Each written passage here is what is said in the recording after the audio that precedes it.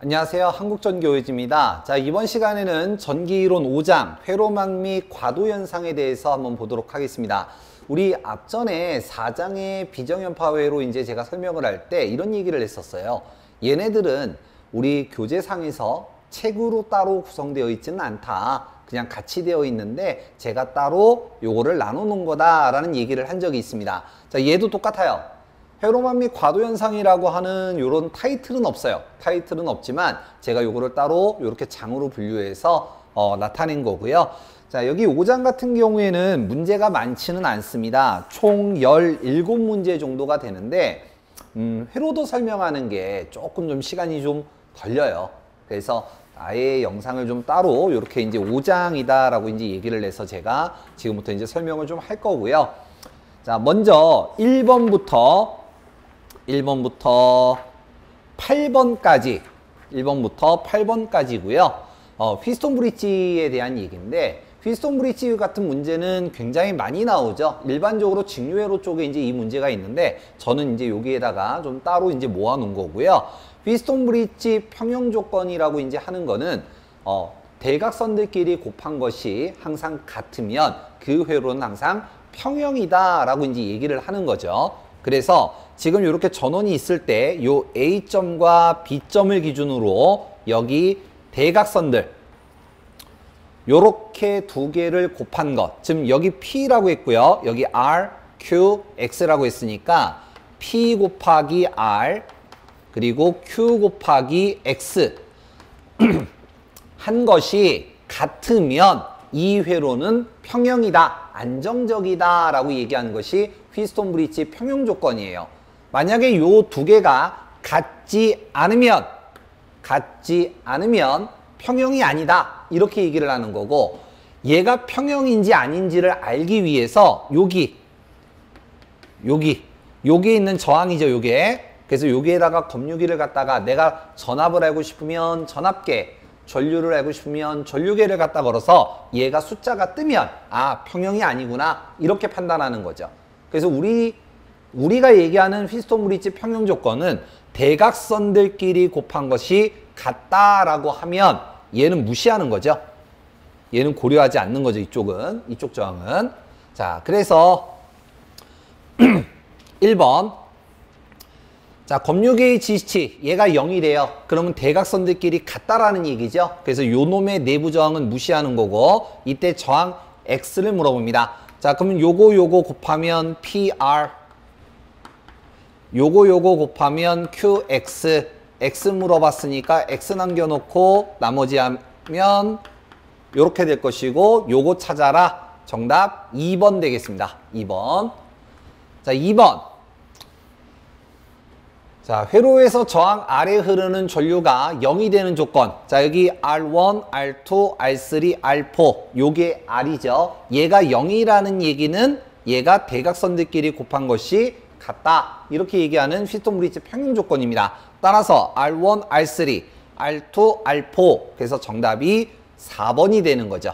R1, R3, R2, R4 자 3번 그림과 같은 회로에서 AB 단자 사이의 합성장은 몇 옴이냐 라고 이제 얘기했는데 자 요거 검육이라고 그랬죠. 전압을 알고 싶으면 전압계, 전류계, 전류를 알고 싶으면 전류계의 내부 저항이에요. 근데 이 대각선들끼리 곱하면 1 곱하기 4, 2 곱하기 2니까 같죠? 그래서 평형이기 때문에 요거는 계산하는 게 아니죠. 휘스톤 브릿지 평형 조건에서는. 그래서 요거 회로를 보면 얘 제거하고 얘하고 얘가 직렬, 얘하고 얘가 직렬이에요. 그래서 요걸 그림을 다시 그리면 여기 1, 여기 2,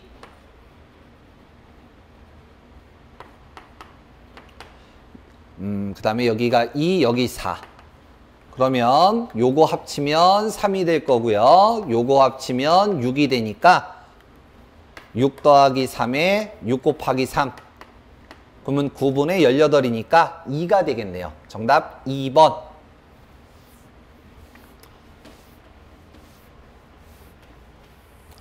자, 4번.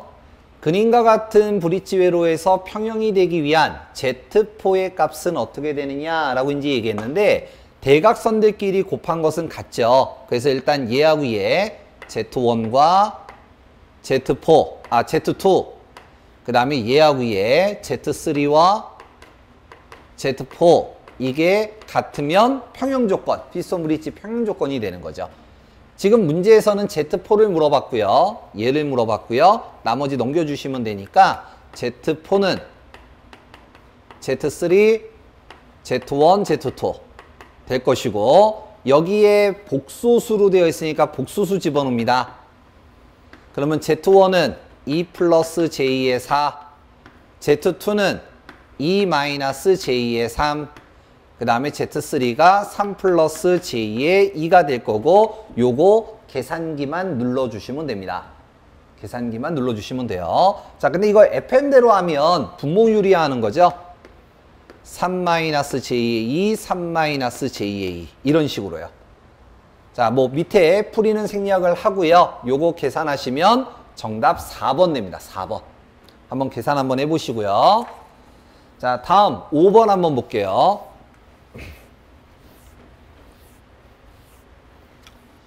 자, 그림에서 평용 조건에 맞는 식은 어떻게 되느냐? 지금 딱 보면은 여기 양단을 기준으로 해서 대각선들끼리 곱한 것은 같다. 이게 평용 조건이죠.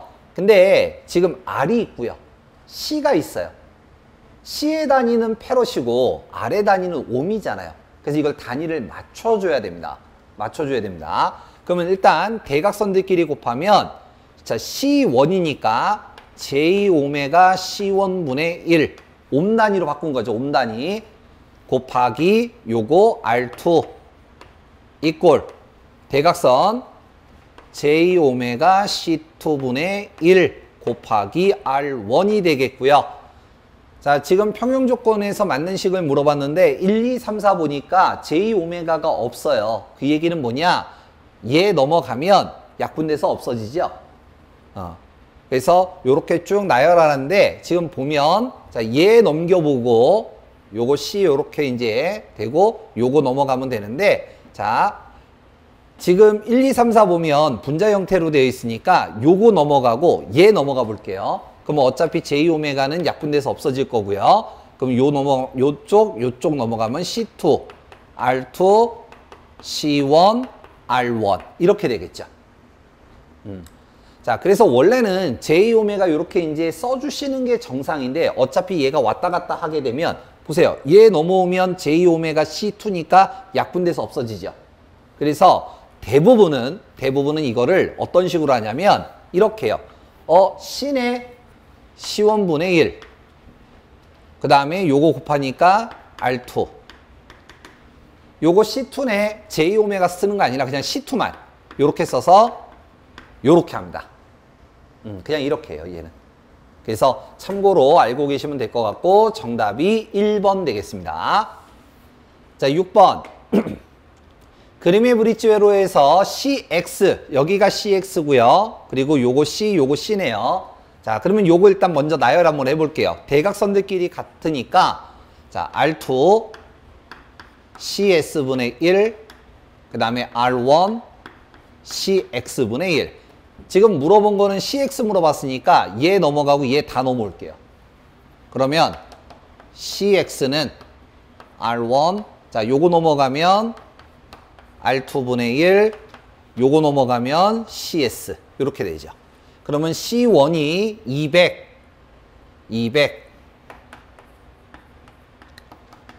그 다음에 R2, 어, R1이 200, R2가 50, 50분의 1이고요. 그 다음에 CX가 0.1 마이크로페럿인데 어차피 마이크로페럿으로 표시하니까 0.1 들어가면 될 거고요. 자, 요거 이제 계산하시면 되고 요거 계산하시면 정답이 4번이 됩니다. 4번. 요거 약분하면 4 곱하기 0.1이니까 0.4 되겠죠? 어. 자, 그래서 6번 받고요. 7번 갑니다. 자, 그림에서 AB 간 합성 저항은 AB 간은 여기네요. 그러면 자, 요거 CD 있는데 요거 빼고 CD 빼고 요 AB만 보세요. 그럼 요 그림 휘스톤 브릿지죠.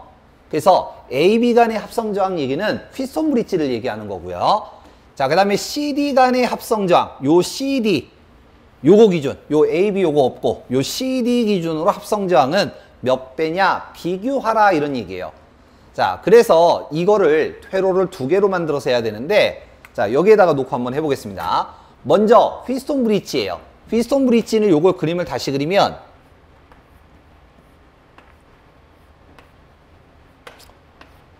요렇게 되죠. 요게 A하고 B. A하고 B. 그래서 요거만 얘기하는 거고 요 CD는 뺀 겁니다. 그럼 여기가 R, R, R, R 이렇게 되는 거죠. 자, 그러면 이 그림을 다시 한번 그려볼게요.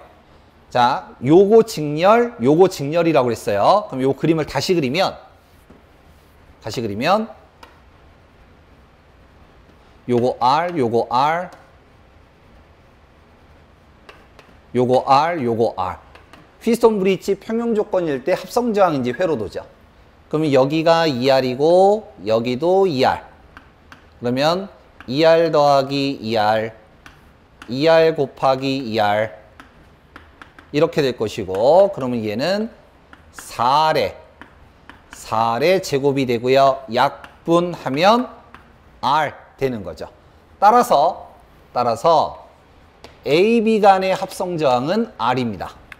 요거에 의해서. 자, 다음 CD 갑니다. CD. 여기 C, 여기 D. 자, 이 그림을 90도 이렇게 회전해서 다시 그려볼게요. 이렇게 회전해서. 그러면 이 그림이 어떻게 되냐면요.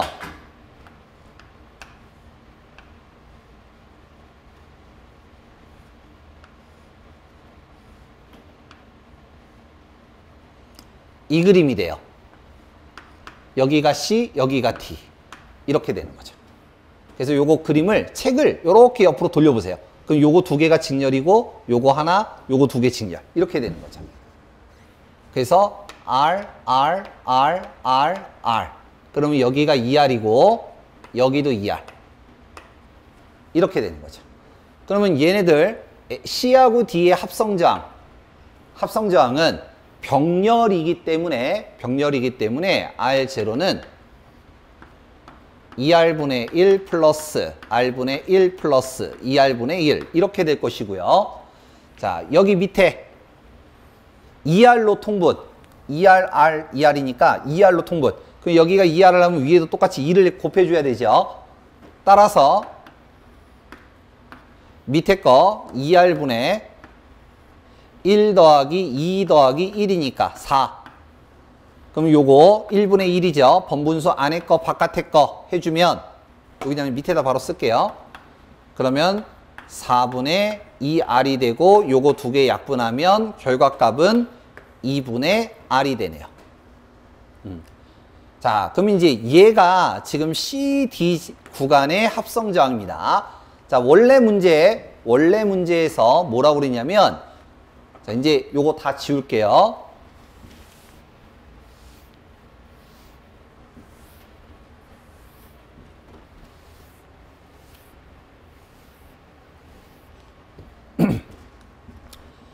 자, 그림에서 AB 간의 합성 저항은 CD 간의 합성 저항보다 몇 배냐라고 했어. AB 간은 R이고요. 지금 합성 저항 계산하니까 R이고 CD는 2분의 R이라고 했으니까 얘는 요 놈의 두 배죠.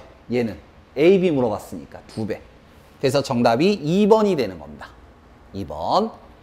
자, 다음 8번. 자, 회로에서 AB 단자 간의 합성 저항은 몇 옴이냐라고 이제 얘기했는데 지금 얘가 그림이 우리가 일반적으로 그림 볼 때는 왼쪽에서 오른쪽 이렇게 보는데 지금 오른쪽에서 왼쪽으로 되니까 좀 헷갈려 하는데 자 보시면 얘가 이렇게 갔다가 두 개로 나뉘었고요. 4, 4. 그 다음에 나중에 요게 두 개가 이렇게 합쳐져 갖고 나오는 거예요. 자, 이 그림을 다시 그리면 뭐하고 똑같은 거냐면요.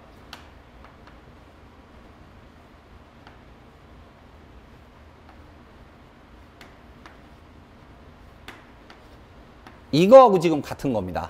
여기서 요렇게 가서 4, 4, 여기 4 옴, 요거 4 옴. 그 다음에 두 개 만나서 나오는 거, 여기 1 옴, 여기 1 옴. 그 다음에 요 가운데 있는 거 2, 그게 요거 2 옴이에요. 그러면 대각선들끼리 곱한 것은 같죠? 휘스톤 브릿지 평형 조건을 얘기를 하는 겁니다. 근데 이 그림을 이렇게 그리니까 헷갈리는 거지. 어. 그래서 여러분들이 이제 뭐가 필요한 거냐면 아, 선, 선생님이 얘기할 때는 이해가 되는데 이거 바로바로 바로 해석이 안 돼요. 이렇게 얘기하시는 게 일반적인 거예요. 이게. 그래서 노력이 많이 필요한 거고. 근데 그 많은 노력을 하기가 애매하니까 우리는 어떤 게 필요하냐면 이런 문제의 유형은 아 이거구나 라는 거를 알고 있으면 되는 거예요. 딱서 딱 보는 순간 아 이거 휘스톤 브릿지구나 알고 있으면 되는 거야. 어, 그게 자격증 시험이기도 하고요. 자 따라서 요거 회로도 그림을 그리면 평형 조건이니까 이렇게 되겠죠. 여기가 4, 1, 4, 1 이렇게 될 거고 그러면 여기가 5, 여기 5 병렬합성 저항에 의해서 5 더하기 5분의 5 곱하기 5 따라서 10분의 25니까요. 2.5가 되겠습니다. 2.5 정답이 3번 자 9번 자 요거는 이제 좀 외우셔야 되는데요. 요건 좀 외워야 되는데 자, 보기 설명에서 빈칸, 기억 니은에 알맞은 말을 쓰라. 다수의 전화번과 전류원이 존재할 때 특정 점에 흐르는 전류의 크기를 산출하려면 전화번은 무엇을 하고 전류원은 무엇으로 한다. 이를 중첩의 원리라고 한다. 자, 전압은 일반적으로 이때 단락 연결을 하고요. 그리고 어 지금 전류원이라고 있죠. 전류원은 개방합니다. 그래서 그렇게 해서 해석하는 회로를 중첩의 원리라고도 이제 얘기를 하고요. 이걸 이용해서 계산하는 게 노튼과 테브란이라는 게 있어요. 노튼과 테브난이라는 게 있습니다. 그래서 이런 것이 있다 기억해 두시면 되고요. 정답이 2번 단락회로 개방회로 전압은 단락, 전류는 개방 스위치 연다는 얘기죠.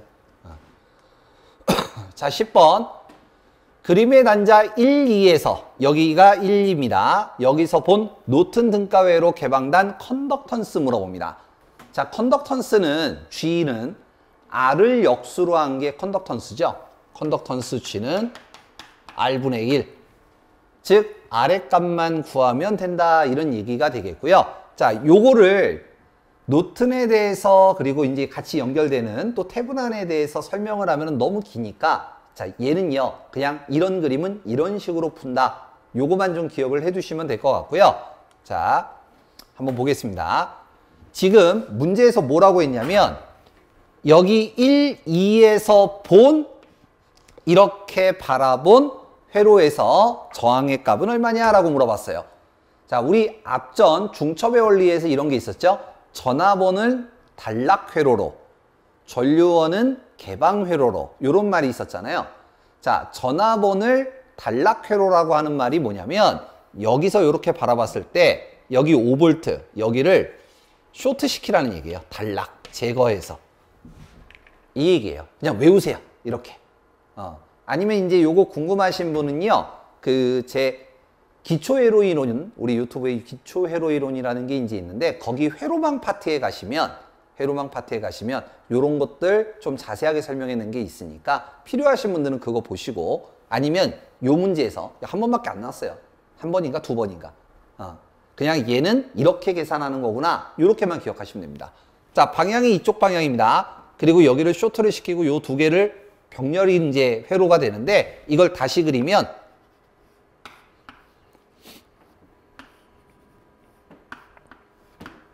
여기가 0.8옴 그리고 여기가 2옴 여기가 3옴이고요. 여기를 쇼트 시켰다. 이 얘기예요. 그럼 지금 이 회로는 뭐가 되냐면 직병렬 회로가 되는 거죠. 따라서 0.8 더하기 2 더하기 3에 2 곱하기 3 그러면 5분의 6이 되니까 어? 아니 요게 5분의 6 요게 5분의 6이니까 1점이죠. 따라서 얘는 2옴. 그러면 G는 R분의 1이라고 그랬으니까 아래값이 지금 2옴이니까 2분의 1, 0.5가 되는 거죠. 0.5. 자, 그래서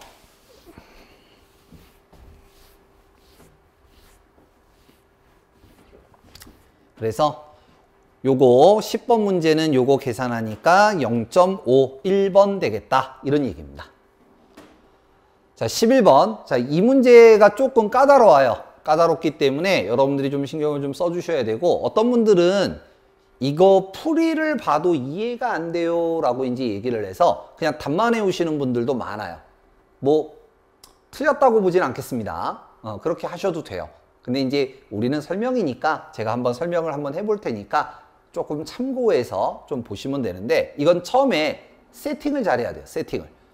자, 그림과 같은 회로에서 AB 간의 전압 E, 여기 전압이 이렇게 이제 걸리는 거예요. 여기 전압이 E만큼. 이렇게 이제 전압이 걸리고요. 요 전압은 안 변하게 일정하게 한다라고 했고요. 이때 스위치 여기, 스위치 여기를 닫았을 때 그럼 여기가 그냥 쭉 연결이 되는 회로가 되겠죠? 그럼 요 회로는 여기다 그냥 조그만하게 그릴게요. 여기가 8옴, 여기가 RX, 여기가 3옴. 요 회로가 될 거예요. 음, 스위치 S를 닫았을 때 이때 전체 전류가 여기에 이렇게 전류가 흘러갈 거 아니에요? 전체 전류가.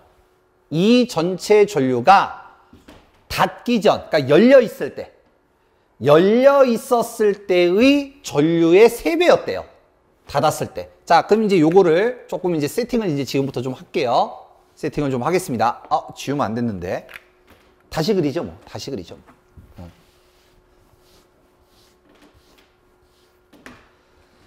자, 그래서 어쨌든 요 전류의 3배가 되었다면 자, 여기서 일단 세팅을 좀 합니다. 자, 스위치 S를 닫았을 때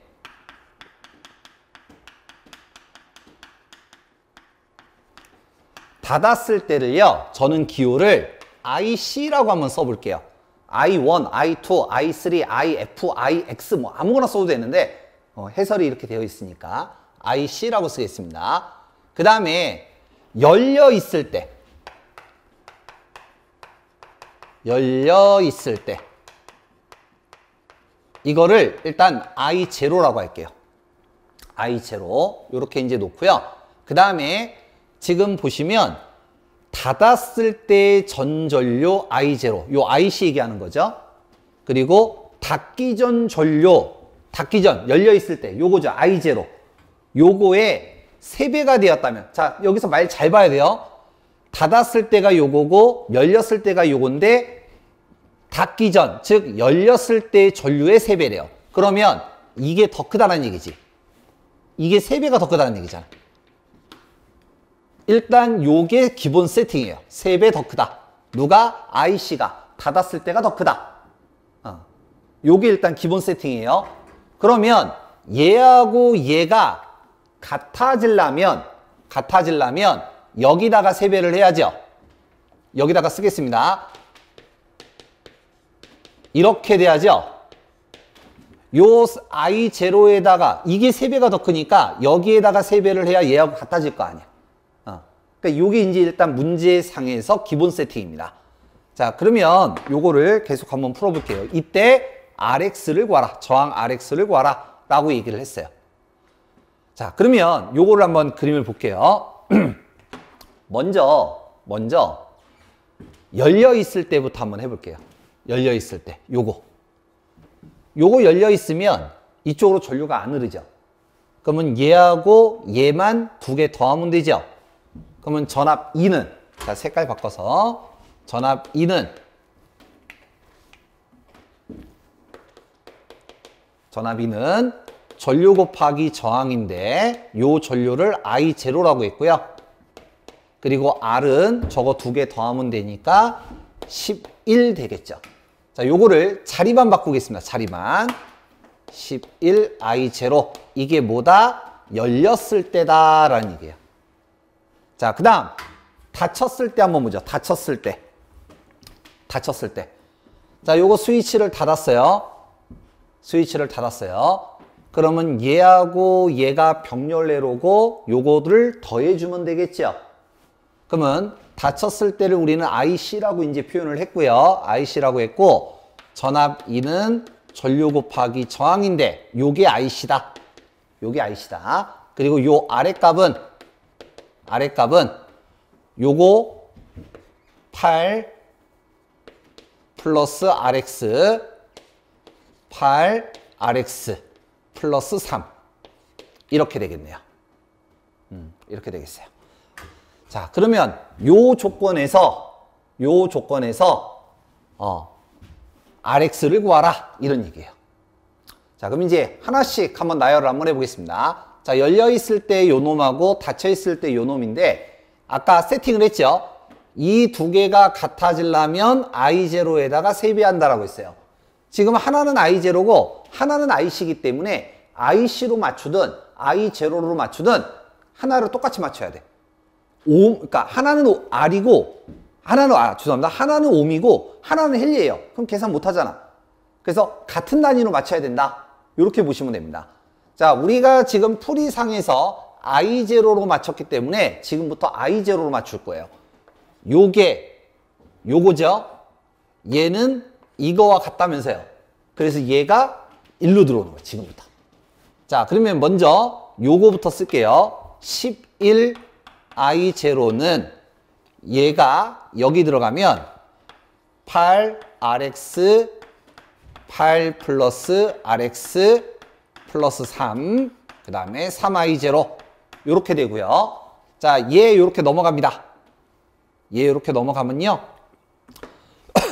그냥 파... 죄송합니다. 3i0가 돼서 약분이 되고요. 남는 거 3분의 11 이꼴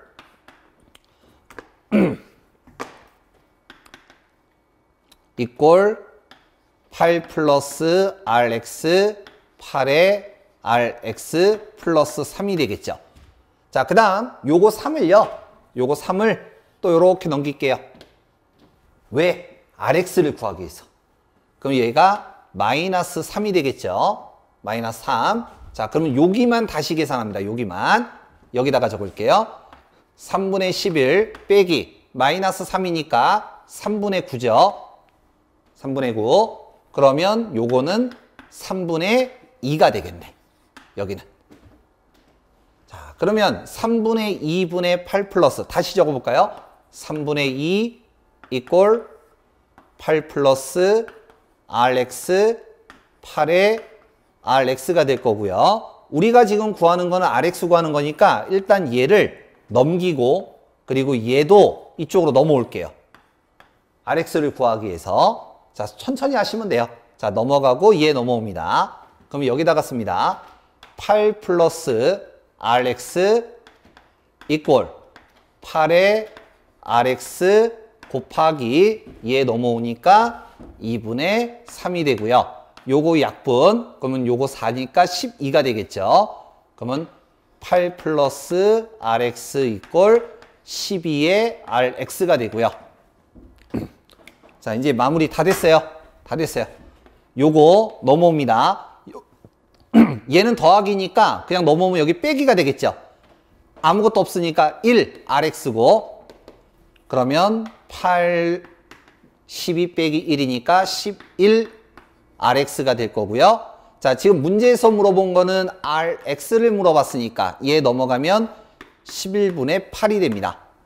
따라서 따라서 정답이 음? 아까 몇 번 하고 있었죠? 어, 11번 하고 있었죠? 정답이 1번 0.73 됩니다. 0.73 어.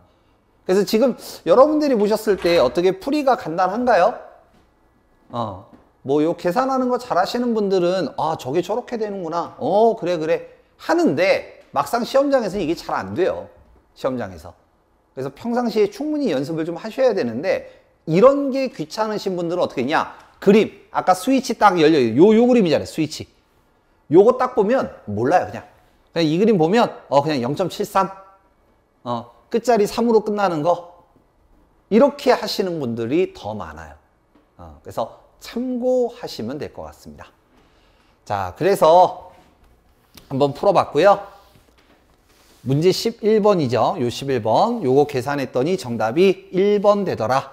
1번 되더라. 0.73.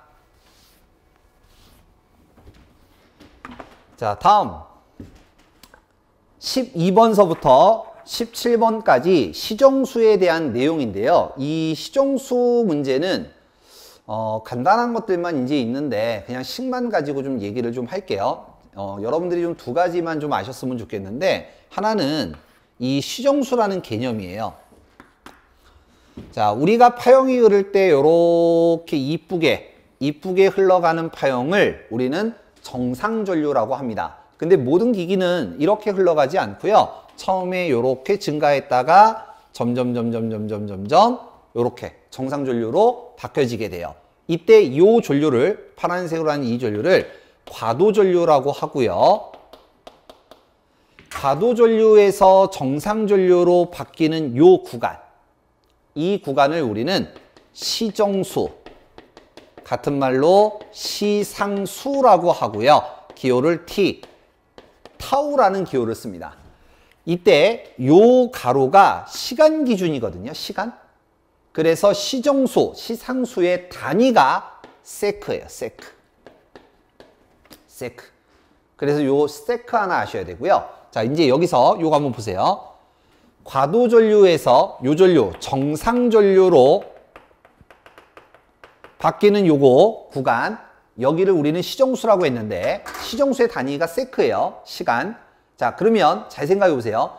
시정수가 크다라고 한다면 얘가 오른쪽으로 이동하겠죠. 시간이 커졌다라는 얘기니까.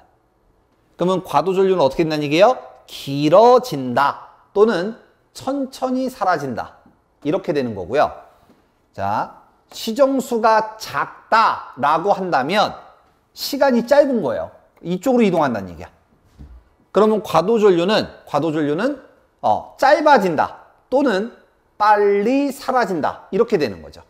그래서 시정수는 과도전류와 정상전류의 경계선 이게 시정수다. 단위는 세크다. 이렇게 기억을 해두시면 되고요. 어, 물론 이제 기사나 산업기사 쪽에서는 요거를 간단하게 식으로 나열을 하는데 우리는 이제 결과식만 합니다. 결과식만 하는데 제가 여기다가 쓸게요. 자, 세 가지를 외우셔야 되는데 먼저 RL 회로의 시정수는 RL 회로의 시정수 T타운은 R분의 L 이렇게 얘기하고요. 그 다음 RC 회로의 시정수 T타운은요. 이거 모르면 뒤지게 맞아야 돼 진짜. 어, 이거 모르면요. 이건 진짜 막 이건 외워질 때까지 맞아야 돼. 자, 요거의 시정수는 RC예요. RC. RC 회로 시정수가 RC인데 RC가 RC예요. RC 회로 시정수는 RC야. 근데 이걸 왜 못해요? RC는 RC인데. 이쯤 되면 세뇌 됐겠죠. 어. 자, 그 다음 이제 LC회로입니다. LC회로 시정수는요, 루트 LC예요. 루트 LC. 그래서 요 세 가지를 꼭 좀 기억을 해 주셔야 됩니다. 자, 그러면 문제 한번 풀어볼게요.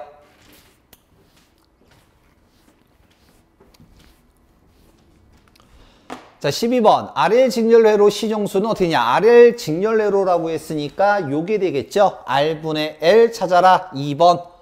자, 13번. R1, R2 인덕턴스 L 직렬회로가 있다. 시정수는 어떻게 되냐? 자, 지금 R하고 L 나왔으니까 RL 회로고 시정수 T타운은 R분의 L이에요. R분의 L. 근데 지금 저항이 두 개죠. 그리고 직렬회로잖아요. 직렬에서는 저항을 어떻게 한다? 더한다. 그래서 R1 플러스 R2 찾아라 이런 얘기고요. 정답이 4번 됩니다. 14번 자 RL 직렬회로에서 R이 20옴, L이 10 헬리인 경우 시정수는 어떻게 되느냐 라고 이제 얘기를 했고요. 자, 지금 R의 값이 20, L의 값이 10. 자, 요거 약분하면 2분의 1이니까 0.5가 되겠네요. 2번. 자, 그럼 이제 여기서 궁금한 게 하나가 있을 수 있어요. 그게 뭐냐면, 선생님, 얘는 옴이고 얘는 헬리인데 왜 그냥 계산합니까? 라고 하는데, 자, 우리가 과도현상 이 식을 가지고 이제 결과식만 지금 얘기를 했지 중간과정을 얘기를 안 했잖아요. 기능사에서 안 나오니까. 근데 이 중간과정에서 얘를 옴 단위로 바꾸고 약분이 돼버려요. 그래서 결과값이 이렇게 떨어지는 거야. 결과값이. 그래서 여기는 옴으로 바꾸는 게 아니라 그냥 숫자 그냥 그대로 집어넣으면 됩니다. 시정수 얘기할 때는요. 자, 그래서 요거 계산하면 2번. 자, 15번. RC 직렬회로에서 시정수는 RC는 RC라고 얘기했죠. RC는 RC라고 얘기를 했는데 이걸 못 외우면 안 되지. RC회로의 시정수는 RC예요. 정답 3번. 자, 16번. RC 직렬회로의 시정수는 RC이다. 시정수의 단위를 물어보네요. 세크 3번이 되겠고요. 자, 17번. 시간의 차원을 갖지 않는 것. 이게 무슨 얘기냐면 시간의 차원. 시정수가 아닌 것. 이걸 물어보는 거예요. 그러면 요거 2번 같은 경우는 RC는 RC라고 그랬죠. RC는 RC예요. 그래서 2번은 RC 회로고요. 자, 3번은 R분의 L이니까 RL 회로죠. 그 다음에 4번은 루트 LC, 요거 LC 회로고요. 따라서 정답이 1번 되겠습니다. 1번. 자, 그래서 우리 회로망 그리고 과도현상 문제 몇 가지 이제 좀 다뤄봤는데요. 17번까지 좀 다뤄봤고요. 여러분들이 요 17번까지 한번 쭉 한번 훑어서 다시 한번 복습을 한번 해보시기 바랍니다. 자, 그럼 여기까지 하고 다음 시간에 뵙도록 하겠습니다. 수고하셨습니다.